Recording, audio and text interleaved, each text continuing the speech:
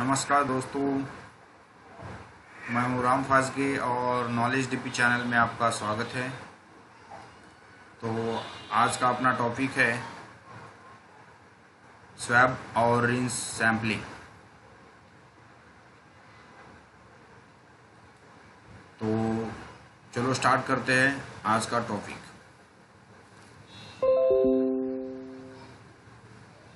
तो जनरली दो methods use होती है। स्वैब और रिंस के लिए।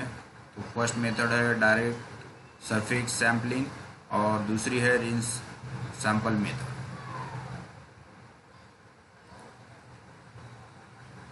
तो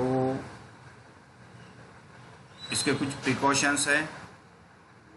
जैसे कि प्रॉपर क्लीनिंग होनी चाहिए और production person T R raise करेगा उसके लिए, फिर क्यूए पर्सन उसके लिए आके स्वैप करेगा और तब तक क्यूसी में उसका मीडिया प्रिपेयर्ड होता है। तो स्टार्ट करते हैं first method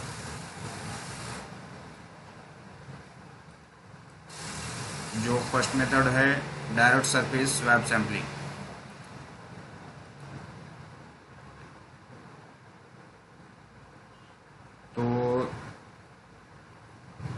swab from H I media जो मीडिया है P W zero zero six should be use और टेक ए सूटेबल सॉल्वेंट इसके लिए सॉल्वेंट लेना है जनरली हम लोग वाटर यूज़ करते हैं। और ये स्वैब हमको लेना है, जो हार्ड टू क्लीन एरिया है। Before taking a swab wear clean latex hand gloves to avoid contamination ensure the swab shall be saturated with the solvent और wet the swab tip into the solvent मतलब जो swab stick है, वो solvent में deep करके लेना है, और उसके लिए स्वैब एरिया है ten into ten centimetre horizontal stroke के लिए, और दूसरा है five into five centimetre for horizontal and vertical stroke के लिए. At the end of the जी मतलब ये स्वैप करके होगा तो जो स्टिक है squeeze into the test tube containing the solvent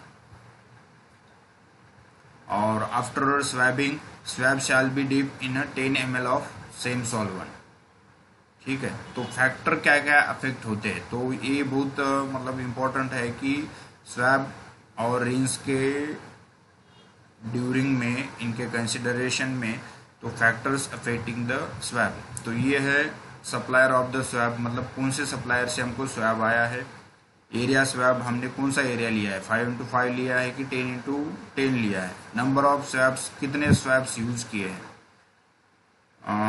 और वेट और ड्राई स्वैब है। मतलब ड्राई स्वैब लिया है हमने कि वेट स्वैब लिया है? और हैंडलिंग ऑफ़ स्वैब टेक्निक्स मतलब क्या टेक्निक्स यूज़ की है? ऑरिजेंटल वर्टिकल ये फैक्टर्स कंसिडर करते हैं। और ये ten into ten centimetre vertical इस टाइप में लेना है और टेन इंटू फाइव सेंटीमीटर ये हॉरिजेंटल इस टाइप में लेना है। तो सेकंड मेथड आती है रिंस सैम्पलिंग जो इनडायरेक्ट मेथड है। Two advantages of using rinse samples are the larger surface area may be sampled and inaccessible systems or ones that cannot be routinely disassembled can be sampled and evaluated मतलब इसका एक advantages है कि larger surface area जो equipment का है, उसका अगर हमको रिंस लेना है तो ये मेथड हमको बेनिफिशियल है। वॉश वाटर नहीं तो rinse water sampling indirect method है ये। तो दूसरा है रिंस सैंपल्स में give a sufficient evidence to adequate cleaning where accessible equipment parts can be preclude direct surface sampling and may be useful for checking for residues of cleaning agent और detergent जो तो ये कुछ precautions दी है तो और इनका जो सेक्शंस है देखो जैसे इक्विपमेंट्स है और उसका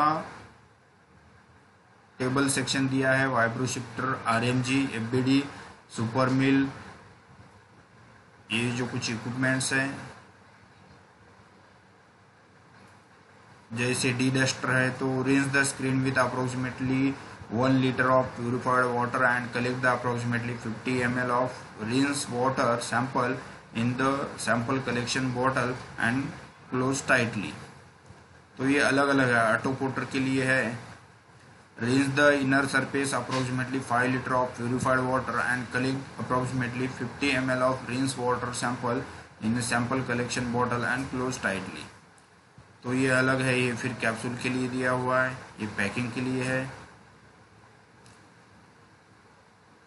तो ये जनरली था डायरेक्ट मेथड और इनडायरेक्टली मेथड तो दोस्तों जिन्होंने मेरे चैनल को लाइक नहीं किया तो लाइक करो शेयर करो and please don't forget to subscribe my channel and please press bell icon to get the upcoming notification और यहाँ एक एग्जांपल दिया है, जैसे कि range sample requisition cum report जो हमको टीआरएफ रेज करना होता है तो उसका एक सैंपल फॉर्मेट है, जिसमें कि हमको यहाँ स्वैब और रिंस है, इसमें टिक मार्क करना है कि स्वैब है कि रिंस है। तो स्वैब, जनरली, जहाँ वाटर यूज़ नहीं होता, उस पार्ट का जाएगा, उस इक्विपमेंट का जाएगा, और रिंस मतलब जहाँ प्यूरिफाइड पोर्टेबल प्यूरिफाइड वाटर से क्लीनिंग होती है, वहाँ रिंस जाएगा। तो प्रीवियस प्रोडक्ट हमको यहाँ लिखना है बैच नंबर लिखनी है। यहाँ टिक मार्क करना है स्वैब और रिंस में, और इक्विपमेंट का नेम लिखना है, इक्विपमेंट की आईडी ठीक है डेट ऑफ़ सैम्पलिंग कौन से डेट में हमने इनिशिएट किया और टाइमिंग तो सैम्पलिंग लोकेशंस कितने हैं? तो इसका एक सैम्पलिंग का एक प्रोटोकॉल होता है as per protocol number of locations हमको यहाँ लिखना है। तो intimation given by the production जो ऑफिसर है, वो साइन एंड डेट करेगा। और जो क्यूए है, जो सैम्पलिंग के लिए आता है, वो साइन एंड डेट करेगा यहाँ। और ये सैंपल जब क्यूसी में सेंड होगा तो क्यूसी वाला यहाँ साइन एंड डेट करके रिसीव करेगा। तो आफ्टर एनालिसिस वो हमको एक रिपोर्ट देता है। तो वो रिपोर्ट होगी।